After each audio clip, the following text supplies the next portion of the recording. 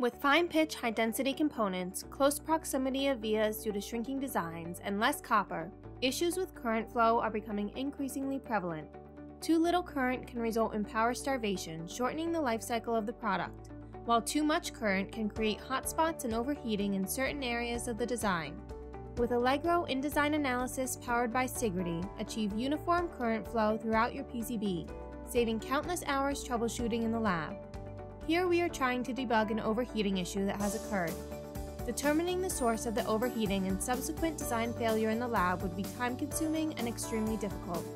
One of the solutions can be adding a fan to dissipate heat, but that is not always possible. Using IR drop analysis in the Allegro PCB canvas, you can easily analyze the current density of the power delivery network before production. Set up the voltage regulator module and sink to analyze the PDN. This simulation will analyze a 3.3 volt power delivery network to the BGA. Easily view the color-coded current density analysis of each layer in the design, allowing you to quickly identify issues with current flow. Here we can see a current surge of almost 400 amps per millimeter squared. Viewing the current density table for detailed analysis information and a definitive pass-fail report, we can identify this current surge as the source of overheating in the design. By moving this via slightly, the current surge is reduced and the overheating issue is resolved, improving the overall PDN.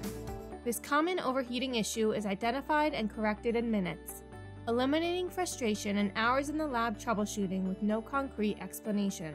Ensure uniform current density in your design, and put a stop to the additional time and money spent on troubleshooting hard-to-find power delivery network issues in the lab, with Allegro InDesign Analysis powered by Sigrity.